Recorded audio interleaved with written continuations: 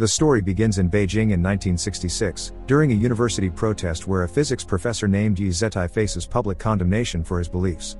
His wife denounces him, and he's violently attacked by a young soldier while their daughter, Yi Wenji, watches helplessly.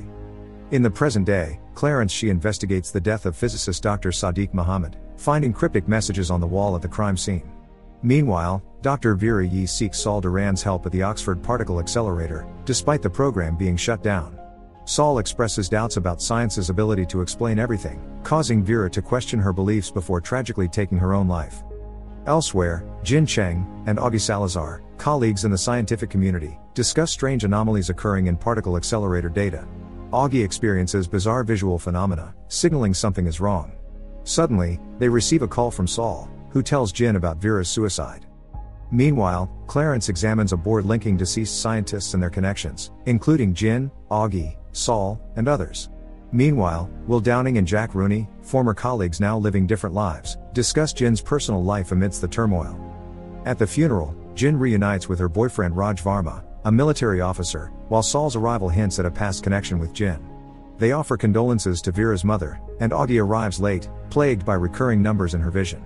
Despite consulting doctors, the cause remains a mystery. Then, we see billionaire Mike Evans pay his respects before leaving, catching Clarence's attention as he secretly follows Evans to a helicopter. Afterward, the friends gather at a pub where Jack mentions Augie's successful company.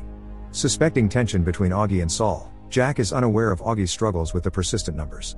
During this, Augie encounters a mysterious woman outside who cryptically warns her about a countdown, offering a serial box decoder ring as proof. She tells her to look at the sky at midnight and the stars will wink at her. Then, she tells her not to let the countdown reach zero otherwise bad things will happen and after this, she disappears. Back in 1966 in Inner Mongolia, Wenji finds herself imprisoned in a labor camp. She forms a bond with Bai Mulin, a journalist, who shares a forbidden book with her. As their relationship deepens, Wenji grapples with environmental concerns and faces interrogation for possessing the book. Refusing to cooperate, she is taken to a mysterious facility where she is offered a choice to join them and remain there forever, or leave but never speak of what she saw. She chooses to stay, intrigued by the opportunity to use her talents. In present day London, Clarence updates Thomas Wade on the case, sharing footage of Augie and Evans. Despite surveillance efforts, they can't trace Evans's destination. At Vera's house, Jin and Vera's mom set up an altar. Jin wonders why Vera killed herself, but her mom reveals Vera's struggles with her work and disinterest in religion. After this, Jin receives a metallic helmet from Vera's mom, who is revealed to be Wenji.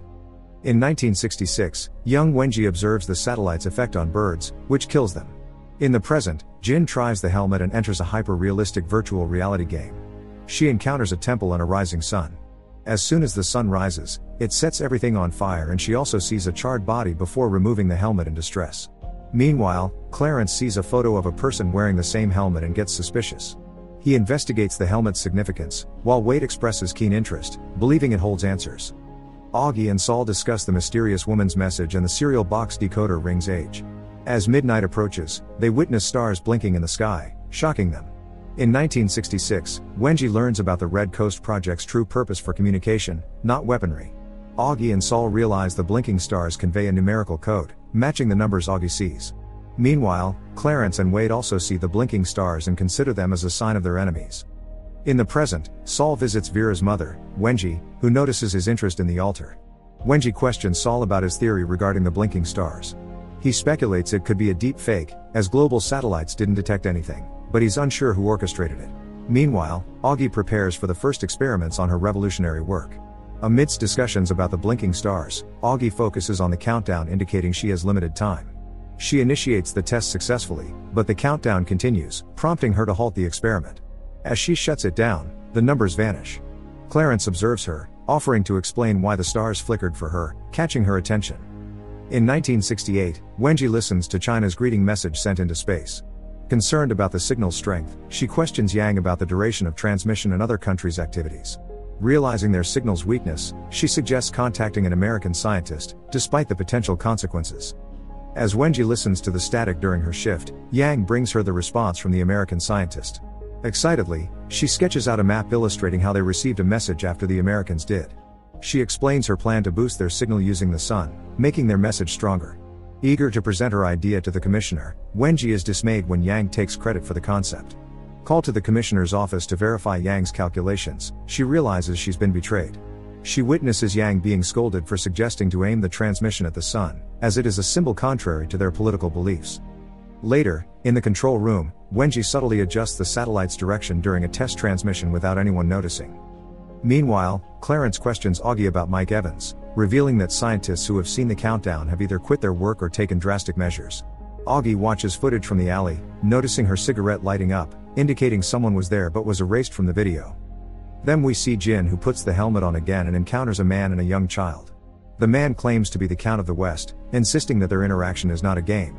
He hopes Jin is the hero of their world and addresses her as Copernicus. He calls the young girl follower. The Count says they must see the Emperor because it's a chaotic time, and if they don't solve the riddle, their whole civilization will be destroyed. While he talks, a star moves quickly, and then the sun starts rising. They hide behind a rock for shade, but there's only enough space for two people. The Count pushes follower into the sun, where she takes off her coat and lies down. She dries out in the sun, and when it sets, he wraps her up, hoping she can survive if rehydrated. After this, Jin removes the helmet. Jin shares her experience with Jack and Jack thinks the game might be a test version, but Jin says it's too advanced. He puts it on and finds the scenery crazy. The game host appears and kills him for not being invited. When he takes off the helmet, he says the technology is too advanced. Jin suggests they stop playing since Vera played it before and she died, but soon she puts the helmet back on. Unknown to them, Clarence is listening to their conversation through Jin's phone. Clarence cleans debris from his wife's grave. It's her birthday, and he brings a cupcake, placing it on the grave. A woman nearby says she brings her dad cake on his birthday. One mistake, and he was gone. She asks about Clarence's wife, who died of cancer. Her father, she says, was shot in the head. Clarence apologizes, feeling uneasy. The woman leaves, but Clarence realizes that the grave she visited was for a child who died in 1909. Then, we see Jack who arrives home to find a case with his name on it. Inside is a helmet and an invitation to play. His first level is set in England, and he's dressed in old fashioned clothes. When a man and child approach him, Jack punches the man but hurts his hand. The man introduces himself as Sir Thomas More and advises Jack to choose a better name. Jack punches him again, causing the child, follower, to wince. In his classroom, Will talks to his students about multiple universes. His phone rings, showing missed calls from his doctor. Later, he meets with the doctor, and his expression shows distress as he leaves the hospital. Will and Jack meet up, and Jack excitedly talks about the game while Will reveals he has stage 4 pancreatic cancer with only a few months left. Jack refuses to accept it, promising to find the best doctors to fight it. Will feels it's too late but Jack encourages him not to give up, recalling instances where Will gave up on things, including physics, and asking Jin out. Then, we see Jin who plays the game in bed, finding herself inside a palace. The Count of the West predicts salvation, claiming to predict the sun's movements. Jin doubts its scientific validity, but the Count instructs her to speed up time by putting her hand on the ground until stability arrives in eight days. The Emperor orders the followers to be rehydrated, and they emerge from the water as fully formed people. Jin also tosses follower's body into the water, and she returns, thanking Jin. However, Jin sees the sun moving away, indicating instability. Suddenly, winds blow fiercely, and follower turns to dust, leaving Jin devastated. The game's host appears and acknowledges that Jin didn't save them and she demonstrated that science is more reliable than mysticism. In the next level, science must triumph over superstition. Meanwhile, a man in a control booth observes Jin's gameplay. Meanwhile, Clarence updates Wade on Evans, mentioning that in 1977, researchers detected a signal that seemed like an attempt at communication. Surprisingly, the only site besides Ohio State that picked up the signal was in China, where Evans happened to be at the time. In 1977, Wenji encounters a younger Evans in fields of newly planted trees. He also possesses a copy of Silent Spring. While Wenji and Yang are scouting for a new radio station location, Evans is there, concerned about saving a bird. Before departing, Wenji quotes Silent Spring to Evans, emphasizing the interconnectedness of all life forms. Later, Wenji discusses with Yang that the first site is preferable, but the commissioner has chosen the second site, which would destroy Evans' conservation efforts. Yang reveals that the second site also houses a labor camp where the girl responsible for Wenji's father's death is imprisoned. However, despite losing an arm in the prison, the girl refuses to show remorse, intensifying Wenji's anger. That night, Wenji receives a message instructing her not to reply, as responding would lead to their world's conquest. Ignoring the warning, Wenji redirects the satellite toward the sun and sends a message inviting the sender to come and conquer their world, offering her assistance in the process. Clarence travels to Switzerland to meet with scientists at CERN after another scientist dies, bringing the total to 32. This time, the scientist was found dead with his head in a tub, and inside his safe, there's one of the game helmets. Augie, Jin, Saul, Jack, and will gather to discuss the recent scientist's death. Will asks Augie about the mysterious numbers, but she reveals they're gone, along with her career. Jack offers snacks to his friends, but Will stays behind to have a private conversation with Jin. Will confesses that he's quitting teaching, expressing a desire for more adventure in life, like exploring Patagonia. Jin responds with a hopeful someday, unaware of Will's limited time due to his undisclosed cancer. Meanwhile, Augie discovers Jack's helmet in his bedroom and tries it on, only to meet a quick demise in the game. Confronting Jack downstairs, Augie learns that both Jin and Jack have been playing the game. Even though she's unsure and worried, they start looking closely at the game, especially at the character follower's request for help and the strange way three sons move in the game. Augie can't believe that they would engage in the same game that Vera was involved in before her death. Jack explains he found the helmet at home with no signs of forced entry, leading Augie to suspect someone tampered with the video footage, similar to the mysterious woman who warned her about the blinking stars. Saul realizes that the helmet has the power to control every aspect of one's life, suggesting Vera may not have been in her right mind when she took her own life. After this, they agree to refrain from playing the game further. But soon, they're back to playing, this time over video chat. Jin explains they need to solve the mystery of the sons and shares her research with Jack. Meanwhile, Clarence hacks into their video feed and monitors their conversation. Jin thinks there's no pattern, but she needs Jack's help, who goes by the name Francis Bacon in the game. They enter the game and find themselves in England once more. Follower greets them, hoping they'll save their world. She recalls each time they failed to save her. Inside the church, Pope Gregory is about to make a decision regarding Aristotle and Galileo's proposal. Jin argues her case, suggesting that the planet is part of a three body star system, leading to the recurring chaotic eras. The other players object, and the Pope sentences Jin to burn. However, the world starts burning again. During this, Follower arrives on a burning horse, revealing three suns in the sky. Meanwhile, Jack rescues Jin, and they witness everyone burning in molten lava. They realize they're not dead because their theory was correct. The game host appears, explaining that Civilization 152 was destroyed by a three star day, but they will advance to the next level as they have successfully solved the puzzle. Then, we see Wade asks about the helmet, and Clarence shares what he overheard from Jin and Jack's conversation. The helmets have a biometric retinal scanner, meaning that while you're in the game, someone else is controlling your actions. Jin exits the game to find her boyfriend, Raj Varma, watching her. He's aware of her nerves about meeting his parents and advises her to avoid too much science talk. Raj's father shares a story about his near death experience fighting Pakistani soldiers, highlighting the importance of playing dead to survive.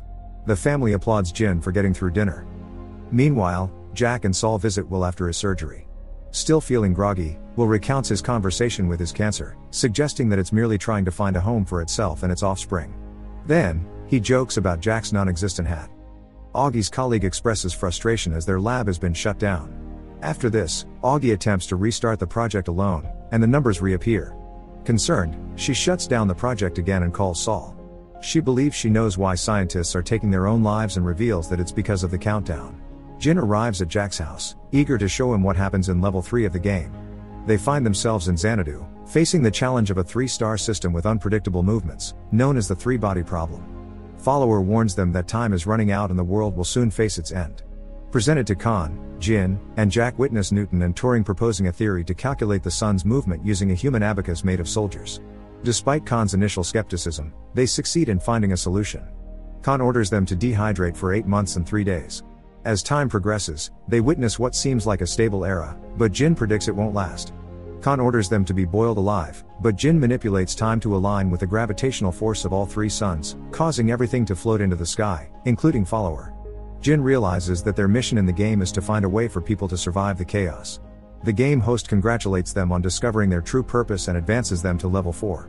Meanwhile, the man in the control room presents his findings to Evans, who instructs him to call Jin and Jack for the London summit.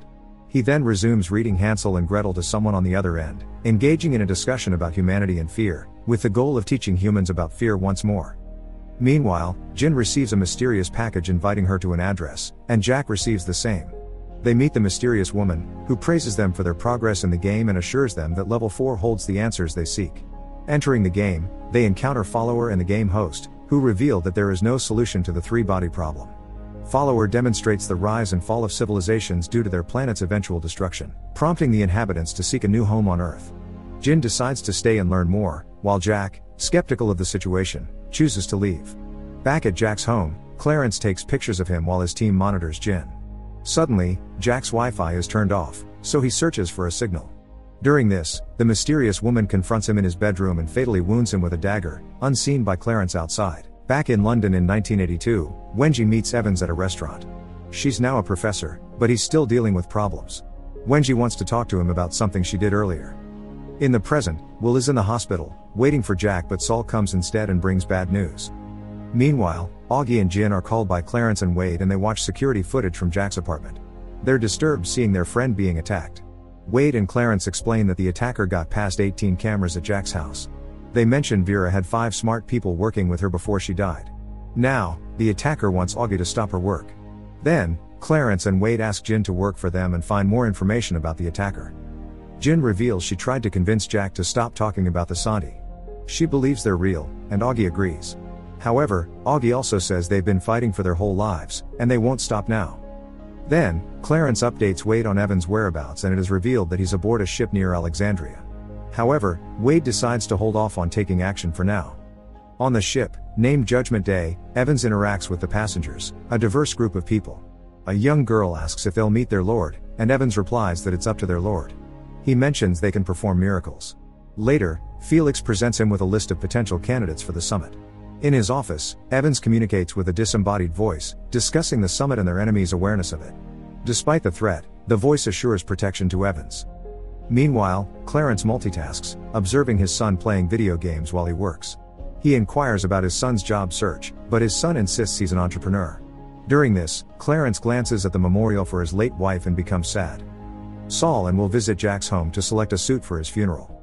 While going through his belongings, they stumble upon mementos from his childhood, including photographs. Jin insists to Wade that she's a scientist, not a spy, but Clarence assures her they'll monitor her activities and asks her to gather information for them. He advises her to pack for several days in case it's unsafe for her to return home. Then, Jin questions if they believe these people are connected to aliens, which they confirm. Later, Jin heads to the summit location, with Wade instructing her not to take her phone inside. Meanwhile, Evans reads Little Red Riding Hood to the voice, who questions why the wolf deceives the grandmother. The voice ponders why the wolf would communicate with her if his intention was to eat her. Evans explains it's to conceal his true motives, prompting the voice to inquire if they ever hide their intentions. Although Evans refers to their enemies as pests, the voice doesn't grasp the metaphor as their adversaries are human. Evans asks if they lie, but the voice denies it. When the voice questions if they lie, Evans acknowledges that everyone does, causing concern. Then, the voice expresses a desire to speak with the wolf from the story, leading Evans to clarify that the tale is fictional. The voice realizes the story portrays a lie, prompting a moment of silence before it admits understanding. Evans emphasizes their need for him to facilitate understanding, but the voice asserts they cannot coexist with liars, revealing fear of them before falling silent. Meanwhile, Wade monitors Jin's car as she heads towards the summit's undisclosed location in a remote area. Members of the group observing her require Jin to undergo a retinal scan for entry. She is then taken to the summit's venue, where the driver reassures her that they will all be protected by their lord. Upon arrival, Jin receives a pin and enters a large greenhouse where the summit is being held. Tatiana, also known as the mysterious woman from the beginning, expresses condolences for Jin's loss and shares her anticipation for obtaining answers. She mentions the protection of their lord and announces the arrival of their founder. During this, Wade questions Clarence about how Evans managed to leave the boat without detection, but Clarence highlights that Tatiana's movements also went unnoticed by security cameras. Their founder is introduced, and Jin is astonished to discover that it is Dr. Yi Wenji, who greets Jin before taking the stage. Wade and Clarence are astounded, realizing that their perceptions have been manipulated by an unknown force. Wenji addresses the crowd, recounting the hardships she endured in her youth and the ongoing struggles she witnessed. Despite the challenges, she believes in the existence of the Santi, who can perform miracles even in their chaotic world. She urges everyone to prepare for the Santi's arrival, which is expected in 400 years. After this, Wenji expresses gratitude to Evans for his assistance. However, their gathering is interrupted by a military assault team storming the building. Despite the chaos, Wenji instructs her followers to remain calm and submit to the soldiers, believing it to be the will of their lord. Soldiers detain Jin and others, but Tatiana intervenes, sparking a violent confrontation. In the commotion, Clarence shoots Tatiana to protect Jin. Wenji observes this as Jin escapes with Clarence. Later, bodies are removed from the scene as Clarence assures Jin and Augie of their safety. Meanwhile, Tatiana manages to flee through the nearby foliage. Will returns home and reflects on his friendship with Jack, placing a reminder of their time together on a shelf. He then settles in with a book of fairy tales, which was a gift from Jin. Meanwhile, in the ambulance, Jin receives a call from Will, who expresses concern for her well being. She reassures him and mentions being taken to a safe location, where she plans to explain recent events. Will proposes a gathering at a cottage after the funeral, suggesting they invite Raj as well, but Jin declines, preferring it to be just the two of them. In 1982, Evans takes Wenji on a helicopter ride to a boat in the ocean, which houses the old satellite known as the Judgment Day. He assures her that there will be no interference this time, having arranged everything for her. Evans presents a computer filled with messages from their counterparts, emphasizing Wenji's significance to them. Grateful for her efforts, Evans expresses hope for the future and shares a tender moment with Wenji. In the present, Wade leads Wenji into a room crowded with people. He mentions their awareness of Judgment Day. Wenji responds calmly, stating that he only caught her because it was permitted by their counterparts. She warns them about the capabilities of these entities, emphasizing their inevitable arrival and the futility of resistance. However, she hints at the positive impact their arrival will have, leaving Wade and the others unsettled by her cryptic words. We see Thomas Wade recruiting Jin's boyfriend, Raj Sharma, for a task. Then, we shift back to Yi Wenji, who is still in custody and being interrogated by Clarence. She believes that since her capture was allowed by her superiors, she no longer poses a threat with her knowledge. Clarence seeks to understand why she reached out to the aliens.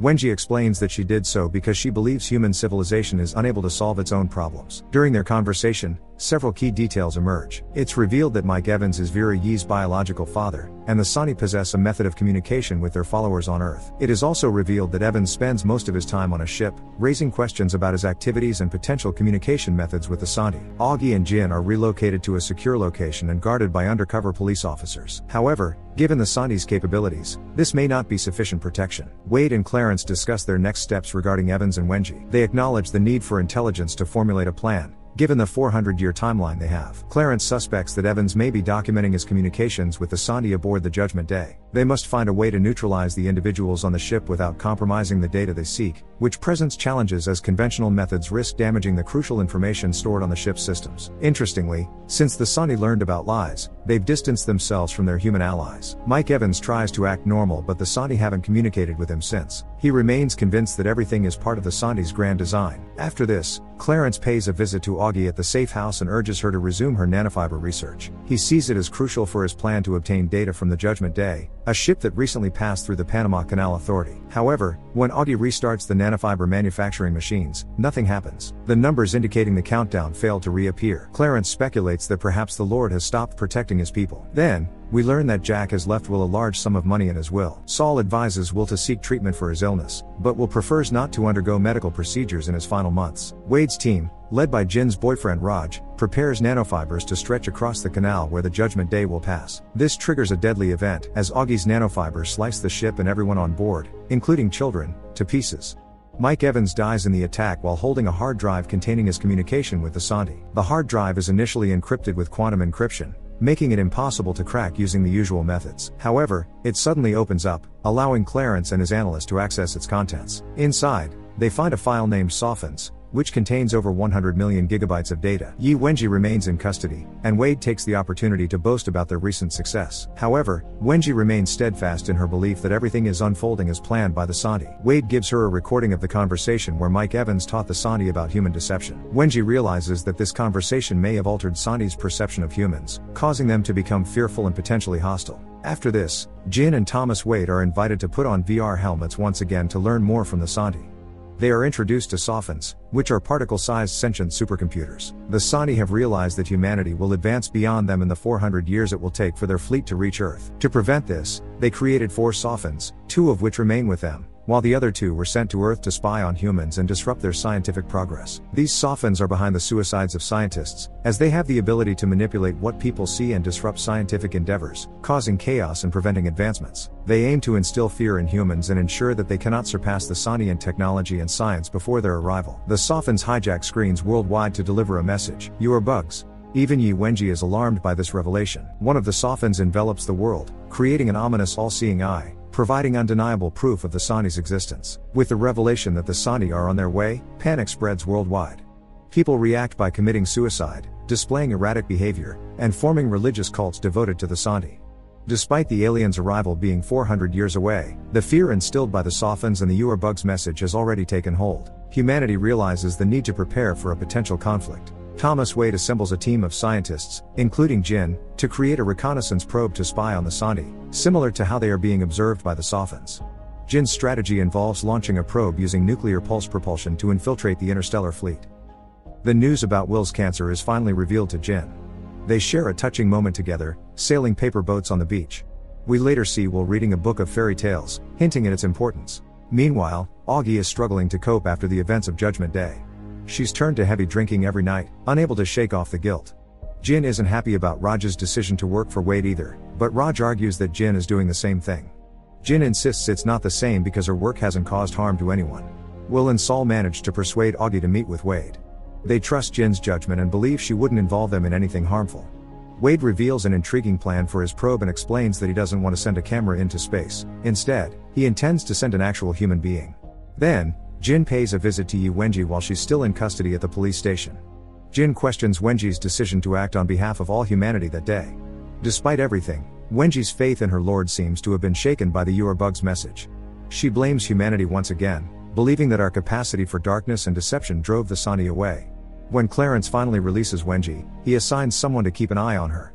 Wenji returns home and pleads with the Sani to listen to her, hoping that she still has some ideas that could shape the impending conflict between the Sani and humanity, or perhaps prevent it altogether.